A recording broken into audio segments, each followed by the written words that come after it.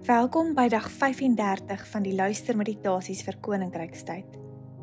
Vandag is Maandag, 6 Julie, en die gedeelte waarop ons vandag fokus is Genesis 25 vers 19 tot 34.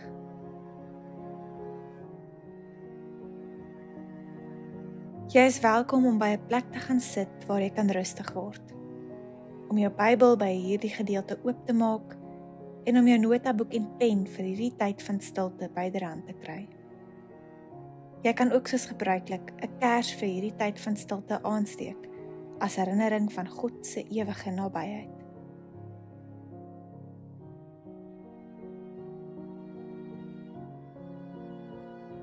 Ek dra u woorde soos entmerke op my liggaam. Waar ek ook gaan, in die supermark, in die vliegtyg, in my kantoor. Ek bid tot U as ek in my motor ry, want U is daar. U troos my. Ek roep U naam in die operasiekamer en waar ek kinders baar. Geen medisyne of kliniek of mammogram kan my van U skei nie.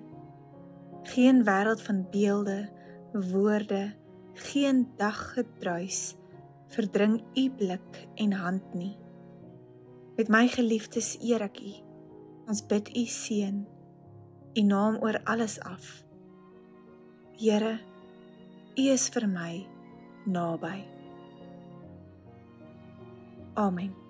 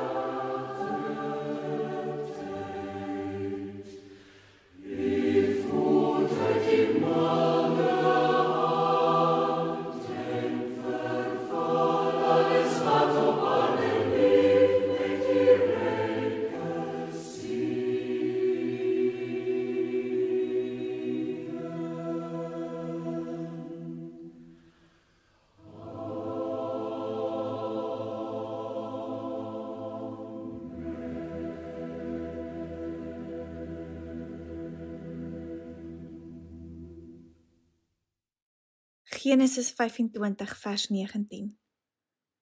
Hier volg besonderhede oor Isak se seun van Abraham. Abraham was Isak se pa en toe Isak 40 jaar oud was, het hy met Rebekka getrou. Sy was die dogter van Bethuel, 'n Arameer uit Paddan Aram en 'n suster van Laban, die Arameer. Isak het tot die Here gebid oor sy vrou, want sy was kinderloos. Die Here het sy gebed verhoor en sy vrou Rebekka het swanger geword. Die kinders het in haar teen mekaar gestamp en toe sê sy: "Waarom gebeur so iets met my?" Sy het toe die Here gaan raadpleeg en hy het vir haar gesê: "Daar is twee nasies in jou. Twee volke uit jou sal van mekaar geskei word. Een sal sterker wees as die ander. Die oudste sal die jongste dien." Toe Rebekka haar kinders in die wêreld bring, was dit tweelingseentjies. Die eerste is gebore, rooi, vol hare soos 'n veljas, en hy is Esau genoem. Sy broer is na hom gebore, en die se hand het aan Esau se hakskeen vasgehou. Hy is Jakob genoem. Isak was 60 jaar oud toe hulle gebore is. Die seuns het groot geword. Esau was 'n ervare jagter, 'n man van die veld. Jakob was 'n rustige mens. Hy het tuis gebly. Isak het vir Esau voorgetrek, want Isak het van wildsvleis gehou. Rebekka het weer vir Jakob voorgetrek. Op 'n dag terwyl Jakob lensiesop aan die kook was, kom Esau doodmoeg uit die veld daaraan en sê vir Jakob: "Laat my gou die rooi goed wegsluk van daardie rooi goed, ek is doodmoeg." Daarom is hy Edom genoem. Toe sê Jakob vir hom: "Verkoop eers jou reg as eersgeborene aan my."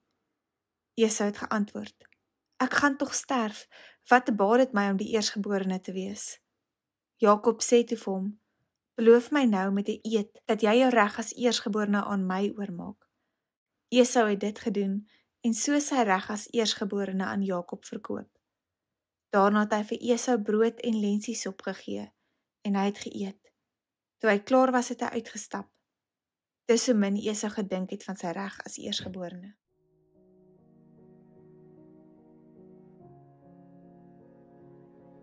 In hierdie gedeelte van Genesis 25 lees ons die bekende verhaal van Jakob en Esau. Die tweeling van Isak en Rebekka wat God as verhoring van hulle gebede aan hulle gegee het.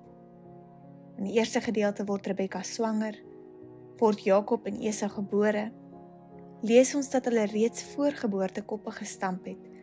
En aan die einde van hierdie gedeelte koop Jakob vir Esau met 'n bak lensies op om om vir hom sy eersgeborene reg te gee. Ek wil jou uitnooi om weer op jou eie tyd deur hierdie gedeelte te lees. Vra vir die Here om jou met nuwe oë na hierdie bekende gedeelte te laat kyk. Wat lees jy raak? Wat tref jou? wanneer jy hierdie woorde opnuut lees. Dink hieroor na en skryf dalk 'n gedagte of twee hieroor neer.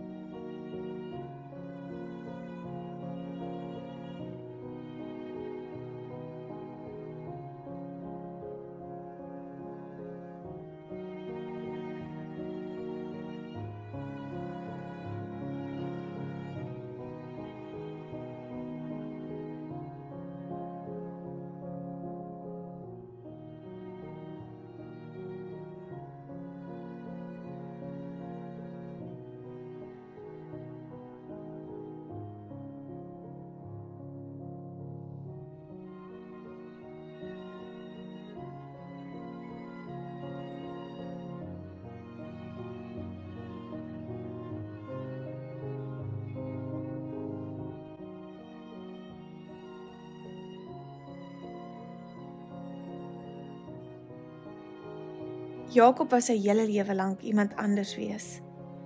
Hy wou sy broer wees. Hy wou die eersgeborene wees. Dit is die eersgeborene wat die naam van die volk dra, wat die volk uitbrei en hy was dit nie.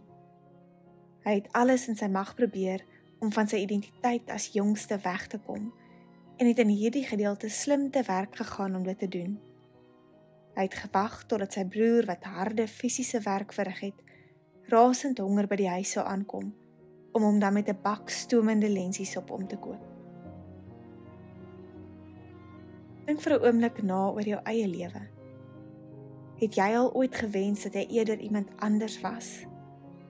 Dat jy rolle met iemand anders kon omruil? Hoekom? Dink vir 'n oomblik hieroor na en praat in gebed met God hieroor.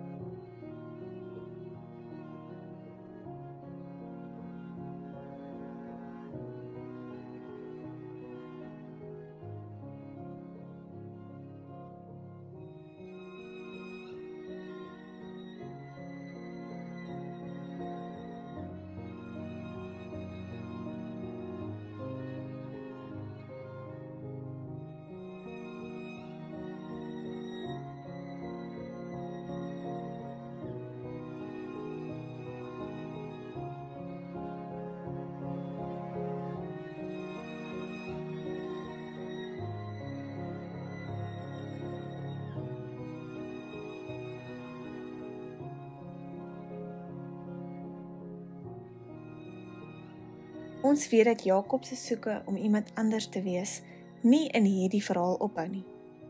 dat hy later soos sy broer aantrek om die eersgeborene seun by sy pa Isak te ontvang. Dat hy nog later vir Esau moes vlug na die ooste, na sy oom Laban en dat hy eers daar, na jare, deur God geroep word om terug te kom na waar hy vandaan kom. Om terug te kom na wie en wat hy is. Na wie en wat God hom geskep het om te wees. Om Israel te word. Elkeen van ons het soos Jakob 'n besonderse roeping in ons lewe. Om deur die werking van die Heilige Gees te word wie ons geskape is om te wees. Om ons unieke rol in die koninkryk van God te speel. Weet jy dat jy net soos wat jy is, deur God geskape en geroepe is? Wat beteken hierdie roeping vir jou? Maak 'n paar notas en gesels met God in gebed hieroor.